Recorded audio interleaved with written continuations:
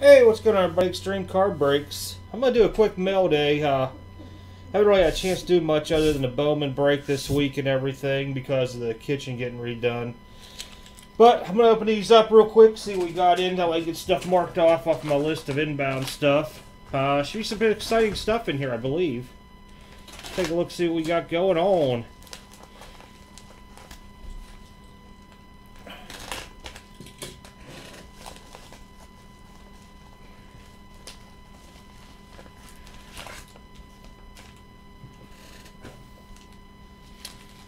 Alrighty.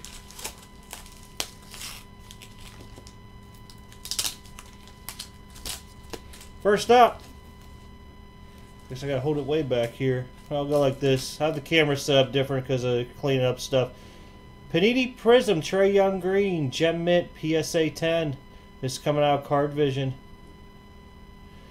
Very nice. Something to hold on to for later. Kind of nice to get stuff into after having to get rid of a good bit to get the kitchen done. That's why we didn't do Flawless this week, just in case anybody's curious.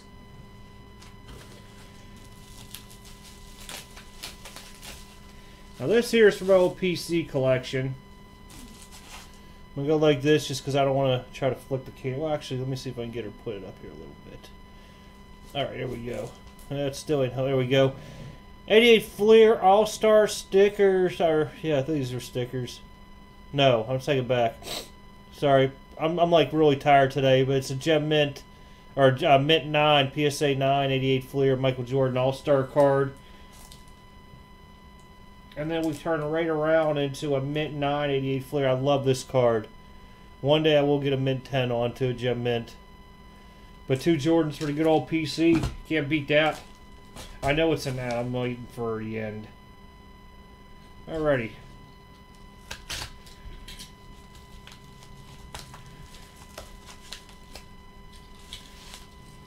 Gonna make sure there's cardboard behind it before we cut her down.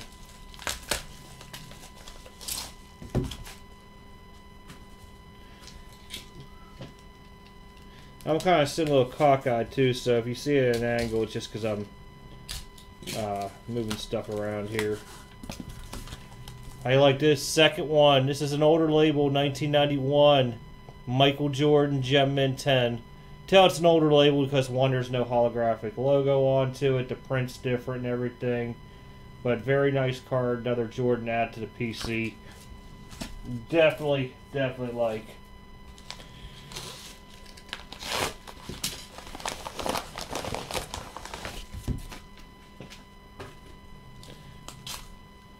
Be two in this, I believe.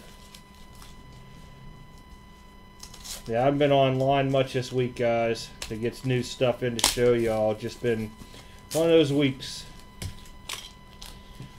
Juan Soto Flawless. Look at the relic. Very nice on the bottom. If I recall right, it's out of 25, bottom of the corner there. Guess they didn't put rookie on this one, but I like the patch. It's bulging there. Sealed by him. And then we got, oh, there we go. This side here. Kobe Bryant. Now this is from NT All Decade Auto. As you guys can see, this would not grade very well because of the auto. But Still Kobe has a little watch action going on. I believe this is out of 10. Yep, out of 10. You can tell how older it is. It's out of 2010 NT. Pretty cool, though. Definitely something older. I think it's around 300 priced onto it or something. I was just about to ready to end the video, and I forgot I had one more thing. Got an Uno break during that week. It was from uh, platinum card breaks. I did an honors with them. Uh, I can get this open. I mean, they, they do a good job with uh, wrapping. Let me get scissors. It's just going to be a lot easier here. If I can find my scissors. There we go. Nothing on top.